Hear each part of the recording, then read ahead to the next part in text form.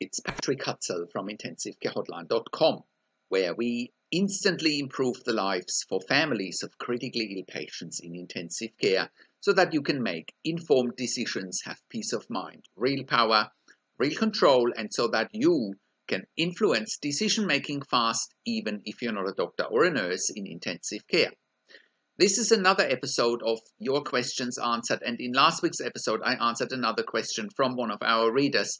And the question last week was My mum is in the ICU and is fluid overloaded. Are they watching the fluid balance closely? You can check out last week's question by clicking on the link below this video. In today's episode of Your Questions Answered, I want to answer the next questions from one of my clients, Stephanie, as part of my one on one consulting and advocacy service. Stephanie's mum is a post cardiac arrest patient in ICU, and Stephanie is asking why the ICU team says that a Glasgow coma scale of 3 is a clear indication of a brain injury. So today's question from Stephanie is My mother is a critically ill patient in the ICU. Why does the ICU team think that a Glasgow coma scale of 3 is a clear indication of a brain injury? So go down and scroll down below this video where you can read today's one-on-one consulting and advocacy session. And if you are watching this on YouTube, click on the link below this video. That'll get you to our website where you can read today's one-on-one consulting and advocacy session with me and Stephanie. So, how can you become the best advocate for your critically ill loved one? How can you make informed decisions, get peace of mind, control, power, and influence quickly whilst your loved one is critically ill in intensive care? You will get to that all important feeling of making informed decisions, get peace of mind, control, power, and influence when you download your free instant impact report now by entering your email below.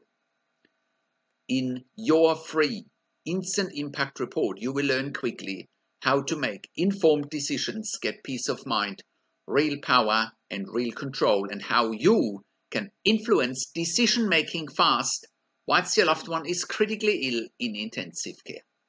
Your free instant impact report gives you in depth insight that you must know whilst your loved one is critically ill or is even dying in intensive care. Sign up and download your free instant impact report now by entering your email below. In your free instant impact report, you will learn how to speak the secret intensive care language so that the doctors and the nurses know straight away that you are an insider and that you know and understand what's really happening in intensive care. In your free report, you will also discover how to ask the doctors and the nurses the right questions. Discover the many competing interests in intensive care and how your critically ill loved one's treatment may depend on those competing interests. How to eliminate fear, frustration, stress, struggle, and vulnerability even if your loved one is dying. You will get five mind blowing tips and strategies helping you to get on the right path to making informed decisions, get peace of mind, control, power, and influence in your situation. You will get real world examples that you can easily adapt to your and your critically ill loved one's situation. How to stop being intimidated by the intensive care team and how you will be seen as equals. You will get crucial behind the scenes insight so that you know and understand what's really happening in intensive care and how you need to manage doctors and nurses in intensive care, and it's not what you think.